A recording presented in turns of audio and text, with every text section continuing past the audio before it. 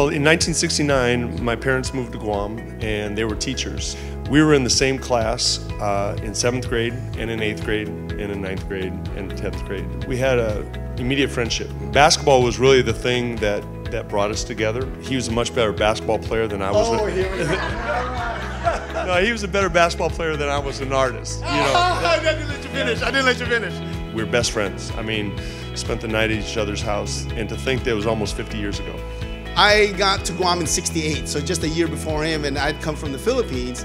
Didn't really know how to act in the US, right? And so, as, like I said, that's why he was the best guy to run into and, and for us to click.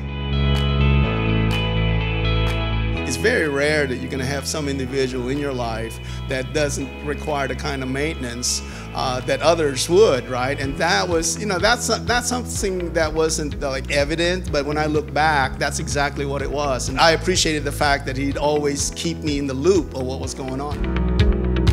It was mostly by you know, a letter here, a letter there. Uh, but we always kind of knew where each other were. Mm. And, you know, I got, Jan, my wife and I went and visited him uh, in 2002 at his studio in, in Oahu. And, um, you know, even though we haven't been close physically, uh, we've just kind of kept in touch.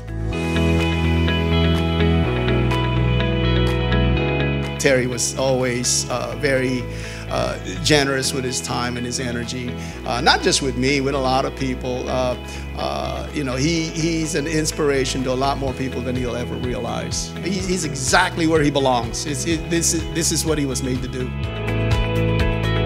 Roy is Roy, I don't know where he stands, but he's obviously one of the best seascape artists in the world. And what he's achieved in his profession is, is remarkable. And anybody who comes to the gallery and sees his, sees his work, it's, it's inspiring. And to think that we have a friendship that goes back this far and, and what he has achieved in the art world is, uh, I'm extremely proud of.